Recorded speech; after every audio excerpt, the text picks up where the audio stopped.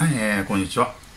これはあれですかね、TVer3 月の最動画再生数1億8000万円超え、えーと、1位が、オーマイボス恋を目指せですって。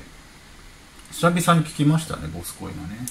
2021年3月の月間、えー、動画再生数が2020年の、えー、約2倍となる1億8000万。だからやっぱ巣ごもりですかね。やっぱりこのコロナ禍で増えたんですかね。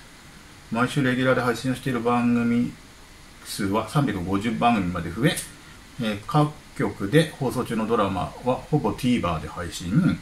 配信番組数の増加に加え大画面で視聴できるコネクテッド TV の端末対応端末の拡大なども再生数の増加に寄与したと。で再生番組番組再生数1はオーマイボス声をベースさせてだそう2021年の1月3月から全配信番組を対象に番組再生ランキングトップはトップ10はいかんと。おり1位ボスコイ。2位がうちうち彼かうちの娘は彼氏ができない。3位が天国と地獄。うん4位が俺の家の話。5位が知ってるワイフ。6位がレッドアイズ。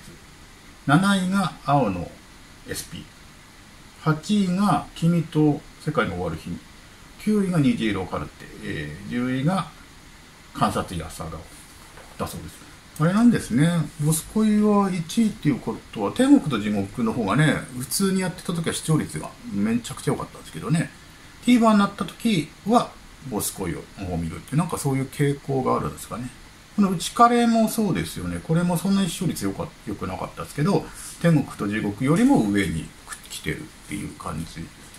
なので、まあ一概にね、民放の視聴率と TVer は比例しないんだなっていう感じがしますけど、まあでも久々にボス恋の話、もうよくできたドラマでね、ボス恋はすごいいいドラマだったんで、いや、良かったですよ、1位で。